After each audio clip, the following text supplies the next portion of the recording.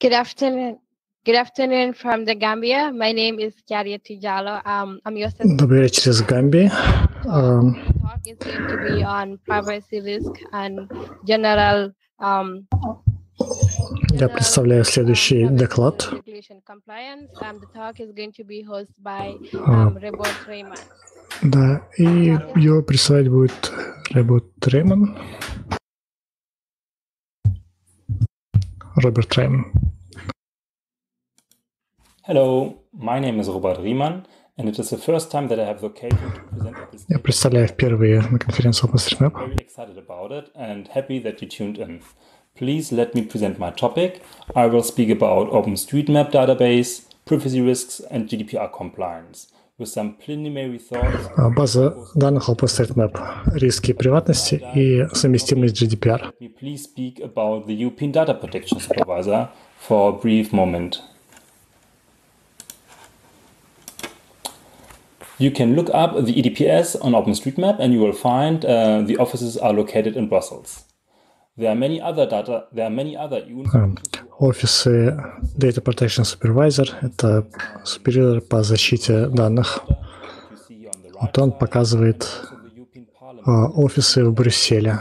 Еврокомиссия и 30,000 парл- рядом с вокзалом.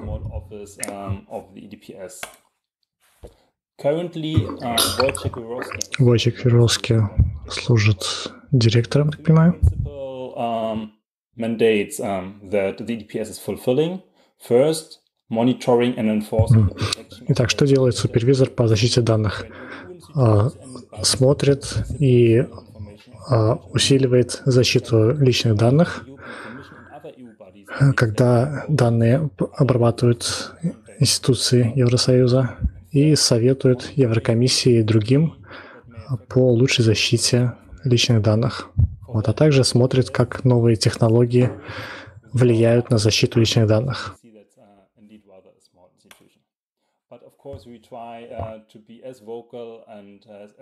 Вот, но мы стараемся быть как можно более заметными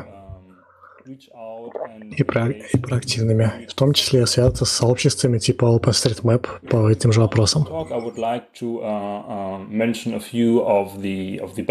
uh, in, data protection law. The the talk is pretty much focusing on European Union data protection frameworks, but of course uh, there are others. Um, but many of them have very similar ideas. Uh, А В других странах есть похожие GDPR Article 4 а, of the законы, в том числе в Японии и Канаде. Вот мы рассмотрим только часть этого закона, связанную с защитой данного сообщества. Так, что основа GDPR? Личные данные — это любая информация, которой можно идентифицировать identified ну, существующего человека. И идентифицируемая, идентифицируемая персона — это тот человек, который можно а, определить явно или неявно через идентификатор, такой как имя, номер или данное местоположение. uh, Вот, и это не только прямые координаты, но, например, когда вы загружаете трек «Путешествие через пустыню», где кроме вас никого нет, то, в принципе, вас можно уже определить. of the user, there are some information that can be inferred, and uh, therefore this could also be personal data. And when you download um, the map area, also the IP address of your device. Вот. Ну и когда вы скачиваете карту, то ваш IP тоже вполне может вас идентифицировать. And then again, search queries. So if I would search for all my hobbies, then of course all the hobbies um, that I have would allow other people to single me out to recognize me. Вот. Ну, когда есть какой-то онлайн-хобби, то другие люди могут идентифицировать меня через него же. generally, I believe that there are many privacy benefits for OpenStreetMap consumers. So let's let's uh, take for example Давайте для примера рассмотрим ситуацию, когда человек с мобильного телефона ищет ресторан. uh, Вот. Слева колонка про небесплатные мобильные приложения. send to the app vendor. And then Вот. Они передают данные о телеметрии, пользователю чаще нужно согласиться с условиями использования, иногда даже дважды, потому что не только для разработчика приложения, но и для магазина, откуда скачано это приложение. То есть экосистема самого телефона поставляется с кучей разных условий своих. Вот. И чтобы себя найти на карте, нужно поделиться с разработчиком своими координатами, например, и поисковыми запросами. Вот. И за это я получу персонализированные сервисы, такие как реклама на карте или в других местах, связанных с этим разработчиком.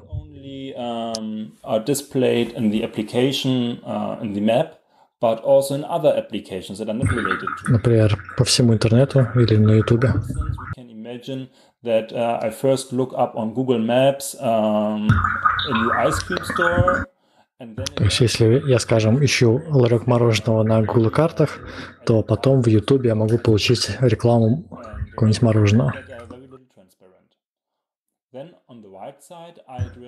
В правой колонке мы смотрим на ту же ситуацию с бесплатным приложением с открытым кодом. Вот здесь мы э, скачиваем э, все данные, принимаем открытую лицензию, ну и, скорее всего, не находим, что вы искали.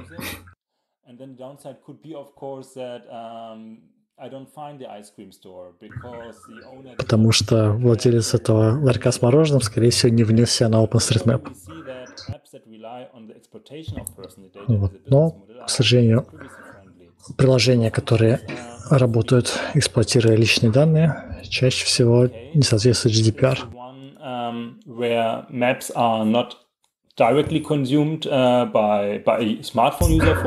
Теперь про карты, которые предназначены не для конечных пользователей, а для организаций. Вот, то есть не для мобильных устройств, а для крупных покупателей. Вот слева мы смотрим, что получается, если основываться на проприетарных библиотеках для карт, например, Google или Apple карты.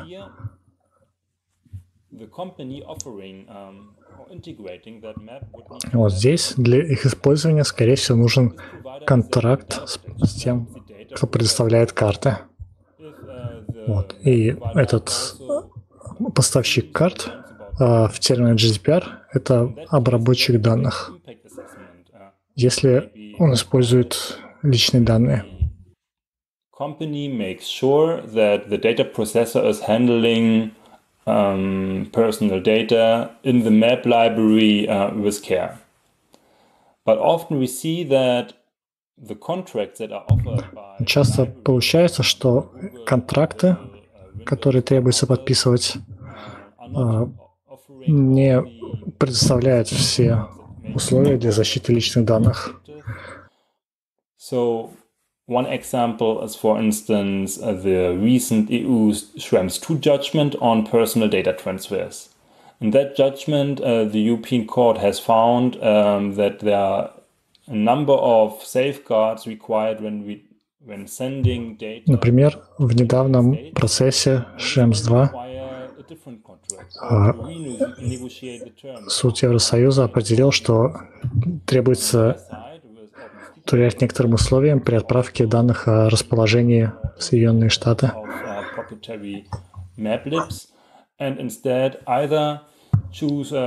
Вот если мы используем э, карты на собственном хосте или открытые карты, то можно выбрать своего собственного провайдера или хранить на собственных серверах. Вот. И в договоре с облачным провайдером можно обговорить все возможные нарушения privacy. Just one example. Uh, for instance, Google Maps comes often with the so-called IDE cookie that has as its purpose. Готовые приложения для карт чаще всего uh, нарушают какие-то условия GDPR. Например, в Google картах есть специальный куки, который отслеживает рекламу и который требует явного согласия пользователя. И часто компании нужно отслеживать э, выдачу этих разрешений.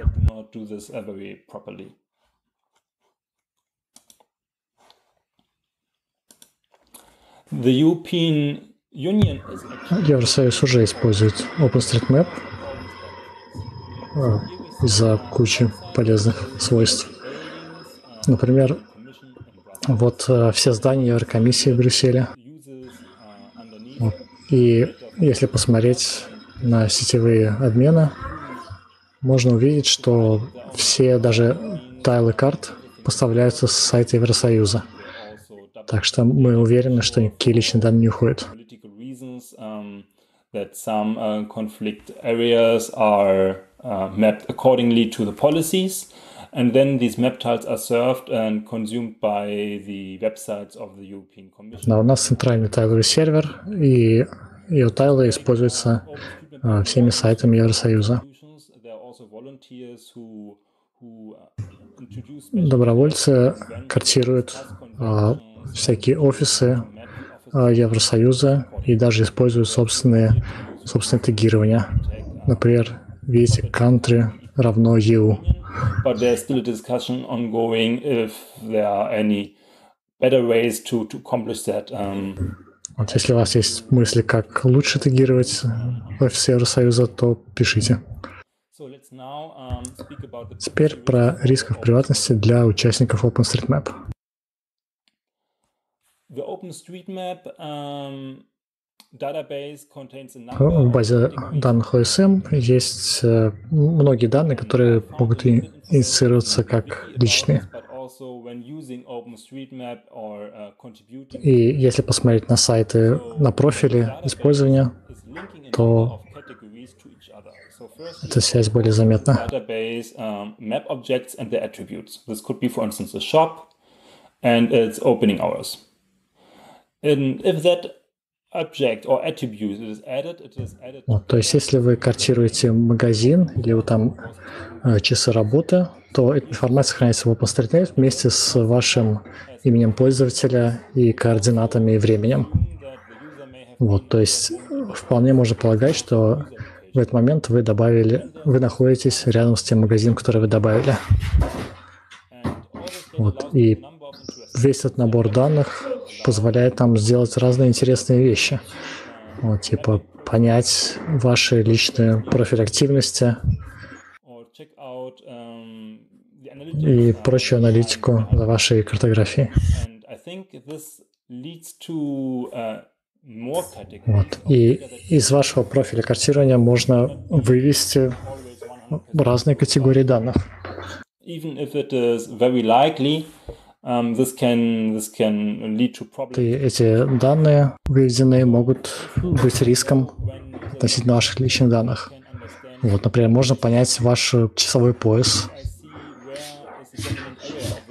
Вот, э, если по плотности правок можно вывести ваш город или даже адрес. Вот, если я вижу, что вы две недели картируете в другом месте, то вы, наверное, были в отпуске. Вот, и узна- могу узнать, где вы были, Вот, и посмотреть, если вы все время картируете на пляже или в городе, то можно понять, что вам нравится, не нравится. То есть, если вы на горнолыжных склонах, значит, можно понять, что вам нравятся горные лыжи.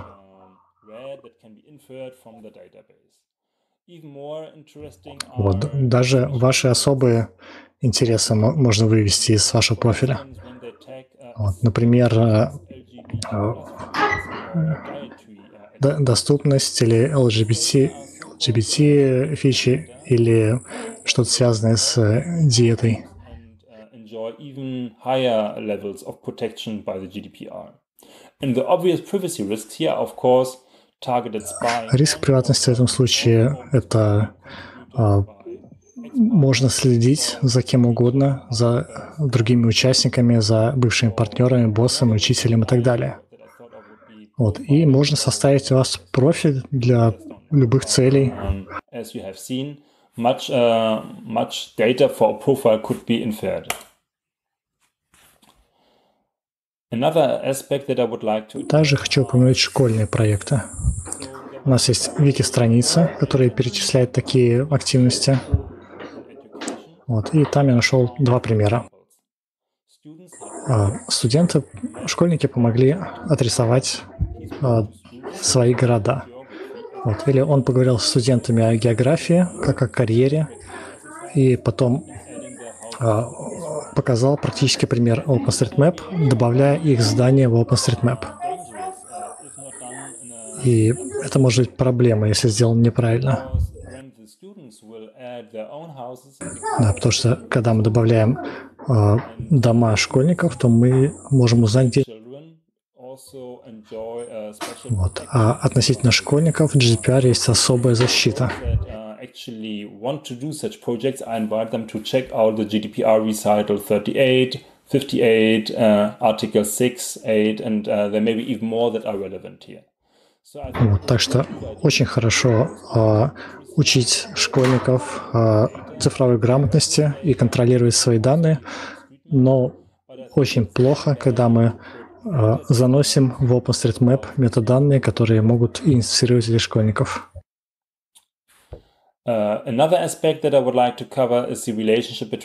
Data. Другое, что я хочу коснуться, это зависимость личных и общих данных.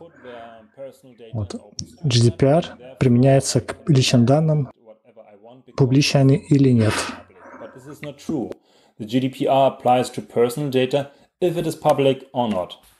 То есть обработка метаданных из, э, из базы данных OpenStreetMap тоже регулируется несколькими принципами GDPR.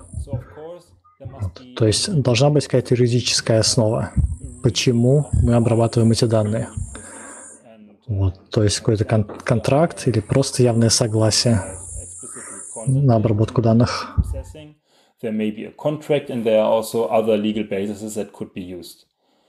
Дальше ограничение цели.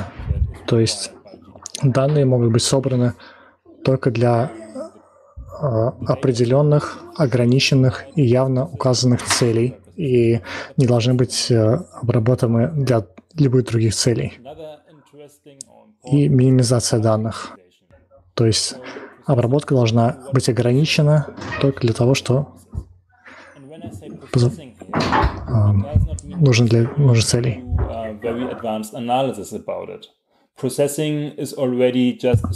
Да, и под обработкой может быть, э, может считаться даже просто скачивание и хранение данных. OpenStreetMap э, соответствует for any purpose as long as you credit OpenStreetMap and its contributors. But this can be only partially true. You see the В условиях OpenStreetMap написано, что вы можете использовать данные для любых целей, просто уп- упоминаю OpenStreetMap, но э, э, эта лицензия, она не, не соответствует GDPR, потому что GDPR запрещает использование данных для любых целей. Uh. Так что постарайтесь не обрабатывать личные данные, если это действительно не необходимо. There are third parties that use OpenStreetMap data, and I have already mentioned in a previous slide a few websites. And for that purpose, OpenStreetMap Foundation has Вот, когда OpenStreetMap, фонд OpenStreetMap э, принимал GDPR, он сделал- они сделали страничку users could see э, дата-контроллеров, то есть тех, кто использует данные. Но, как мы видим, э, в Вики так никто и не зарегистрировался как обработчик данных OpenStreetMap. uh. I'm, I'm very sure there it would be much better if there would be uh, someone, if there would be organizations who make sure that the data here, the list is as accurate and updated as possible. Of course, there are exceptions. Конечно, не, не обязательно регистрироваться, чтобы использовать данные. Uh, uh,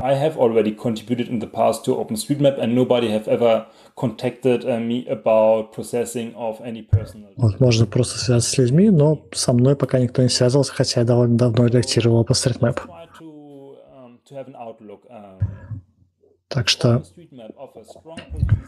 если бы OpenStreetMap предлагал серьезную защиту для тех, кто участвует, то это сыграло бы на руку и пользователям, и редакторам от сервиса, который не зависит на от рекламы.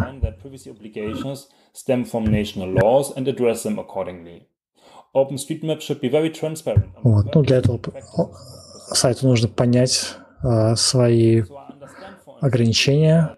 Осмо нужно быть прозрачным а, в контексте обработки личных данных. Вот. И OSMO нужно соответствовать общим принципам, таких как минимизация данных, в части анонимизация, хранить только те данные, которые нужны, и ограничивать цели их использования.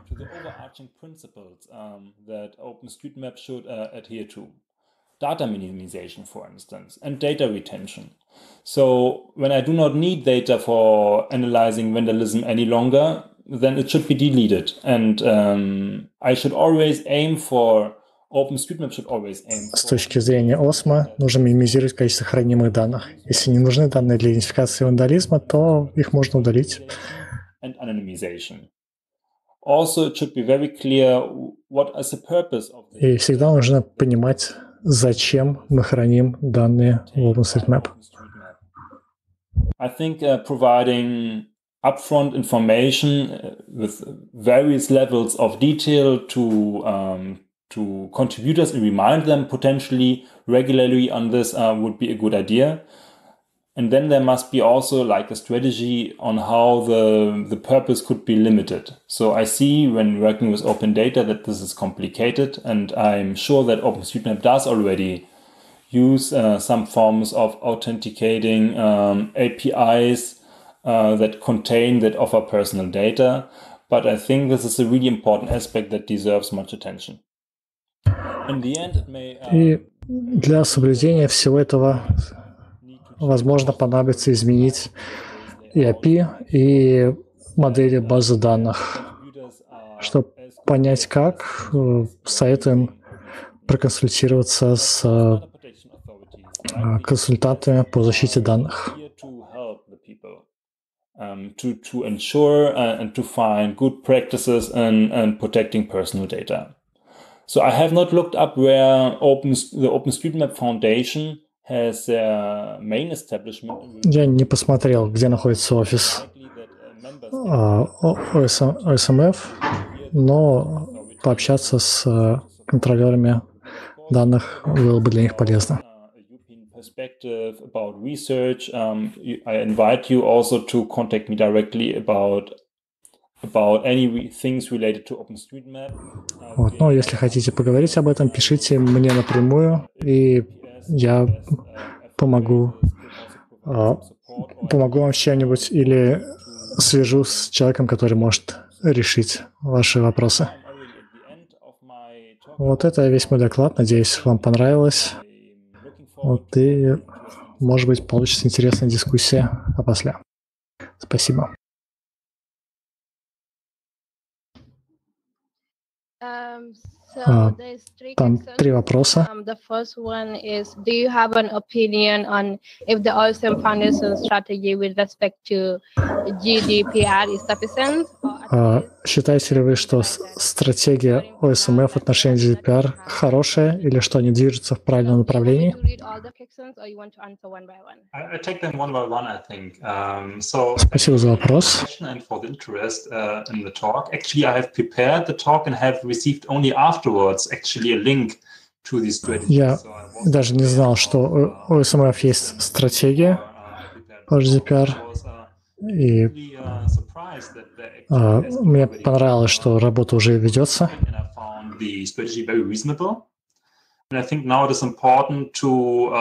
Вот, и сейчас самое важное — это опубликовать ее и следовать этой стратегии.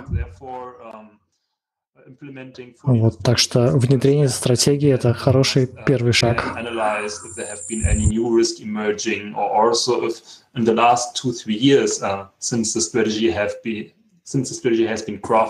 Да, но похоже, что за 2-3 года, с тех пор, как сделали стратегию, особо ничего не происходило.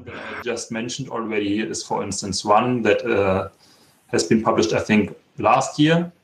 or, or the year before even. Um, that would be something, for instance, that is not yet covered uh, in the strategy as far as I remember.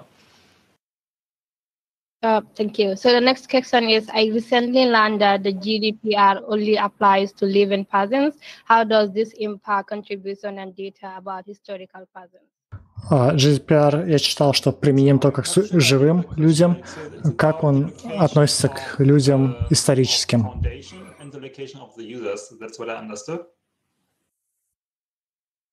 Uh, so the question said, I recently learned that the GDPR only applies to living persons. How does this impact contributions and data about historical persons?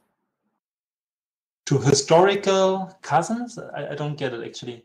То есть, условно, применим ли GDPR к Ленину, чьи памятники мы мапим на карте? Um, so Uh, generally, um, it's actually. Uh, ну, вообще, я, конечно, не юрист, так что точно ответа не дам. Но относительно масштаба GDPR, применимости, data of EU citizens is processed or of people who reside. Он касается все-таки людей, которые живут в пределах Евросоюза. Вот, но OpenStreetMap большой проект, так что нужно быть готовым ко всему.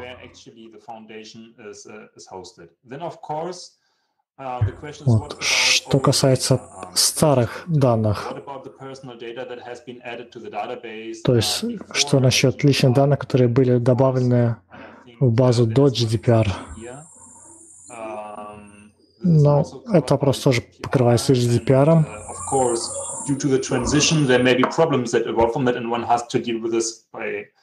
Вот. И понятно, что переход, внедрение GDPR — это сложный процесс, и тут нужно смотреть э, на конкретный случай перехода.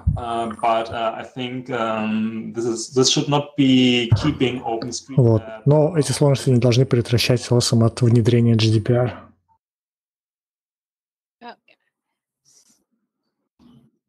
Okay, so is it in your opinion that OSM Foundation is at risk of violating GDPR by keeping only the email addresses of mappers that ask for their account to be terminated and deleted, except for their contribution? Do you think the consistency of the database and a check for genuineness of contributions should be warranted a legitimate interest act to add 6.1 of the GDPR?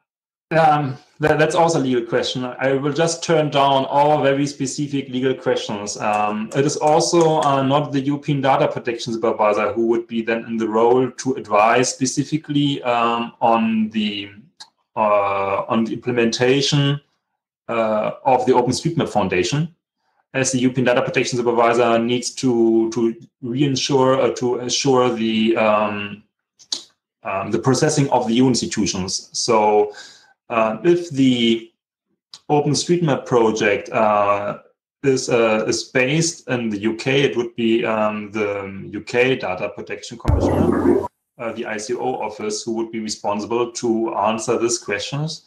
And of course, everything got a little bit more complicated due to the recent Brexit. So most likely, um, there will be another country that then is also responsible for uh, the processing of the OpenStreetMap uh, project within the European institutions. Could be, um, I think it's up to a choice also to some extent of the of the foundation. And if this country would be Belgium, it would be the Belgium Data Protection Authority. If it would be the Netherlands, it would be the um, the Dutch Data Protection Authority. Just to uh, give some examples here. Okay. Um, so the other question is, is it acceptable to use multiple OSM accounts? Еще вопрос. Можно ли использовать несколько аккаунтов OSM, чтобы а, решить проблему а, публикации личных данных? Понятно, что а, ответственность перекладена на Осмера, но когда я учил в школьных, школьников, я давал им временные аккаунты на урок. Uh, therefore is already one strategy, but I do not think that this is actually не думаю, что этого достаточно,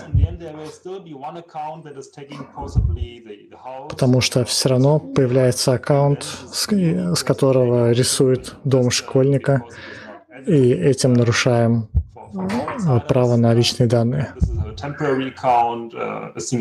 Uh. Um, it's not like the, the the obligations of the То есть даже если это временный аккаунт, это не значит, что GDPR не применим здесь. Uh, uh,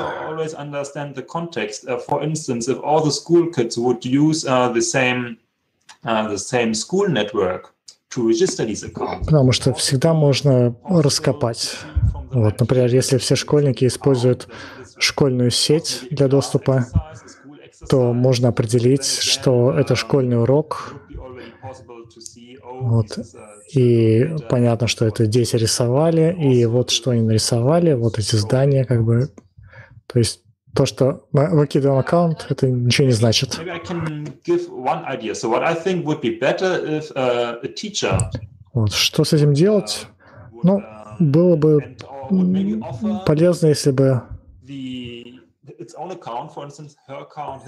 что если бы дети использовали аккаунт учителя, чтобы добавлять данные. And then there must be a way uh, to make sure that that um, the individual edits вот. И так, возможно, мы убедимся, что э, правки детей было бы сложно отличить от правок учителя. Но я не знаю, как это будет работать. Um, the other question is how does the GDPR work on several chain datasets and copies of the database on all the servers? Как GDPR работает на э, огромных массивах данных, которые копируются по всему миру? Что люди должны знать is personal data, uh, to other countries uh, worldwide and make it available um, public, then I think it is not only the GDPR that is relevant here, but actually also the data protection. Вот. Ну, когда мы публикуем эти данные по всему миру, здесь вопрос не только GDPR, но и закон о защите данных разных стран. um, uh,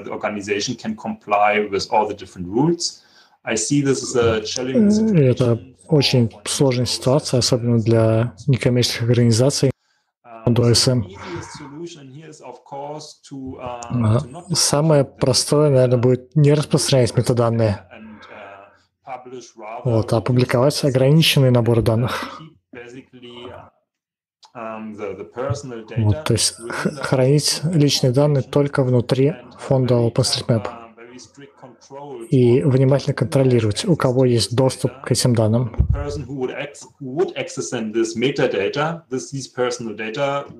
Вот, и люди, у которых есть доступ к метаданным, они должны были бы проходить э, тре- тренинги вот, и проверять целые использования данных.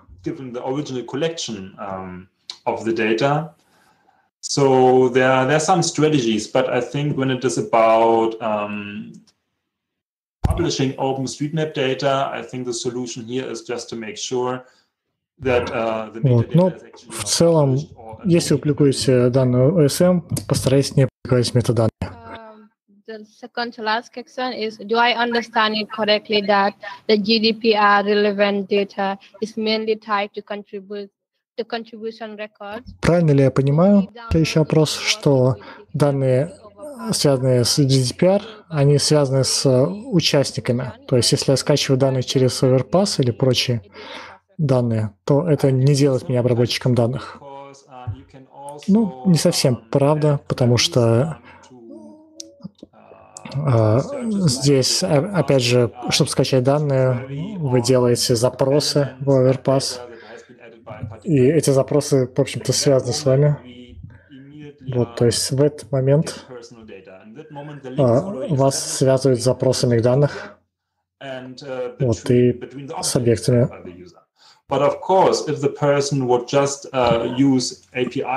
Но если человек использует запросы к API, который не связан с получением да, личных данных, типа никнеймов, то в теории, да, здесь личные данные не затронуты. Так что хорошая мысль не выдавать личные данные. Как Um, именно? How does the OSM Foundation treatment of personal data compare to other open data projects like the Wikimedia? I would say you're all in the same boat because indeed. Как мы сравниваемся с Википедией и другими организациями? Ну, примерно все одинаково, все в одной лодке. um,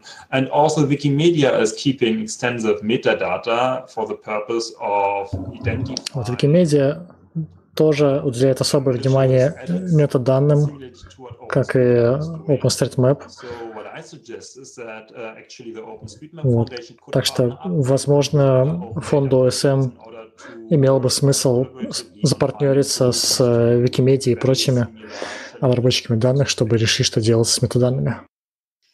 Last question. Um, is distributing the metadata only to logged-in users Voodoo, or is it an effective control?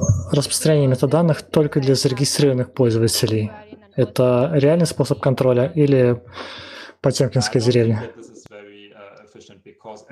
Не думаю, что это работает. Кто угодно может создать аккаунт и иметь доступ. Вот.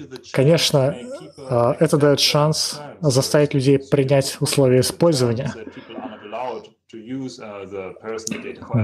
и ограничить цели использования данных. Но люди, скорее всего, быстро создают аккаунт и не читают никакие условия. Вот, так что доступ получается все равно публичный. Так что это ограничение а, особо не работает. Но это мое личное мнение. Вот. Вот, так что здесь нужно консультироваться с советником по защите данных. practice again to ask a, a data protection authority for, for some advice. And this would then be, of course, written procedure and, and not, uh, not someone, uh, as I do, uh, give you advice here in, in a video. Um, that's a little bit uh, lengthier as a procedure. And I think this is also what I would recommend uh, uh, for. Так что это все, что... Это же я рекомендую по всем остальным юридическим вопросам. Вот. Так что спросите сообщество Викимедиа, вдруг у них какие-то решения появились, и свяжитесь с офисом по защите данных. Возможно, они смогут что-то посоветовать. Be best and uh, be compliant as good as possible. Thank you so very much. Um, those were those are the questions. I just want to remind the, the audience that they can still connect with you on the post talk chat room, and if they have more questions, Большое спасибо. Остальные вопросы можно задать в комнате постчат. Thank you so much. Спасибо And see you и in the увидимся в session room. комнате